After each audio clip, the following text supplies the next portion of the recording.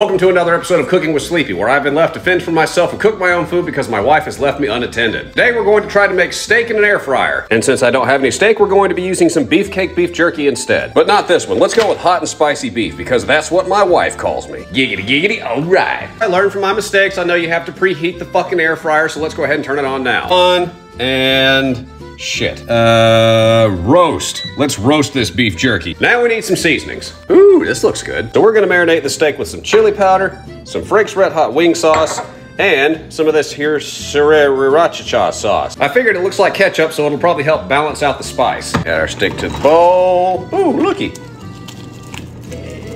I got a packet of chiclets.